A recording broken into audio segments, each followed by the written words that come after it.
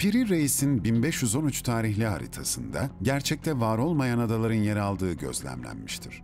Bu gizemli adaların haritada yer almasının nedeni muhtemelen denizci efsanelerinden kaynaklanan hatalı bilgilerin haritanın çiziminde kullanılmış olması olabilir. İlk olarak Deccal Adası olduğu iddia edilen kırmızı renkli adayı inceliyoruz.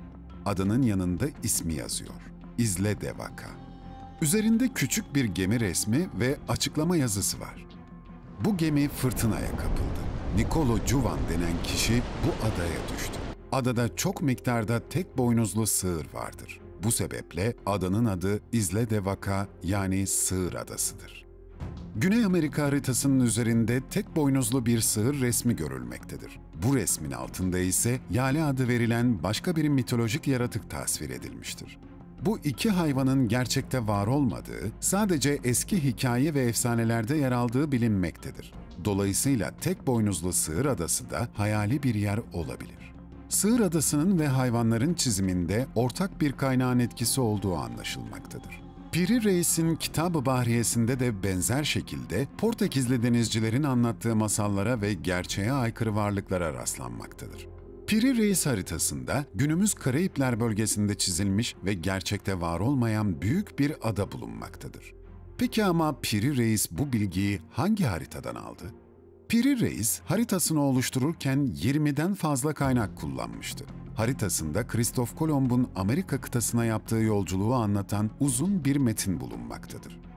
Piri Reis, Karayipler bölgesini Antilya olarak adlandırdı ve bu adaların şekillerini Kolomb'dan edindiği bilgilere dayanarak çizdiğini haritasında belirtiyor. Bu durumu kanıtlayan bir detay ise haritadaki adaların üzerinde çizilen papağan figürleridir. Çünkü Kolomb ilk seyahatini anlattığı notlarında adalarda çok sayıda papağan olduğunu ve bazı yerlerde başka kuş türlerine rastlamadıklarını yazmıştı. Kolomb'un Asya'ya doğru yolculuk yapma isteğinin arkasında yatan en önemli etkenlerden biri Marco Polo'nun Asya seyahatleriydi. Marco Polo, 13. yüzyılda Asya'ya yaptığı uzun yolculuklarda gördüklerini bir kitapta toplamıştı. Bu kitapta Cipango adlı bir ada ülkesinden bahsediyordu. Cipango, bugünkü Japonya'ydı ve Marco Polo'ya göre bu ada çok zengin ve görkemliydi. Ada değerli taşlar, altın ve egzotik mallarla doluydu. Adada bulunan sarayların çatıları bile altından yapılmıştı. Bu kitabı okuyan Kolomb, Cipango'yu bulmak için büyük bir heves duydu. Kolomb iyi bir denizci ve gökbilimciydi. Yunan ve Arap gökbilimcilerinin dünyayı yuvarlak olarak tasvir etmesi ona büyük bir fikir verdi. Batıya doğru giderse Asya kıyılarına ulaşabileceğini hesaplamıştı. Floransalı bilim insanı Toscanelli, Kristof Kolomb'un batıya doğru seyahat etme fikrini destekler. Ona bir mektupla seyahatinde kullanması için harita gönderir. Haritada Asya kıyıları, Cipango, Antilya ve diğer adaların bulunduğu yerleri gösterir. Toscanelli gibi saygın bir bilim insanının desteğiyle moral bulan Kolomb, yolculuğu için İspanya kral ve kraliçesinden gemi ve mürettebat ister. Kolomb'un hayali, Cipango adasındaki zenginlikleri ele geçirerek Kudüs'ü fethetmek için yeni bir Haçlı ordusu kurmaktır. Ancak Kolomb Amerika kıtasına ulaştığında Japonya'ya değil Karayipler'deki bir adaya çıktı.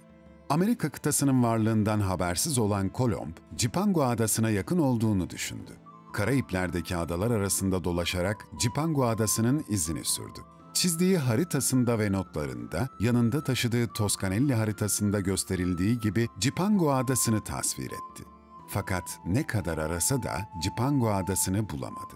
Piri Reis, 1513 tarihli haritasında Kolomb'dan edindiği hatalı bilgilerle Cipango adasını gösterdi. Ancak daha sonra çizdiği dünya haritalarında yeni edindiği bilgilerle bu hatasını düzeltti. Piri Reis, haritasını oluştururken kullandığı eski haritalardaki bazı hatalı bilgileri de haritasına aktarmıştır. Haritada görülen yanlışlıkların ve gizemlerin nedeni Piri Reis'in kaynak olarak kullandığı eski harita ve kitaplardır. Orta Çağ haritalarının bir kısmı denizcilerin anlattığı masallar ve efsanelerden etkilenmiştir. Bu haritaların en ünlüsü 1492 yılında Alman haritacı Martin Beheim tarafından yapılan Dünya Küresidir. Bu kürede 50'ye yakın efsanevi hikaye ve çok sayıda uydurma ada bulunmaktadır.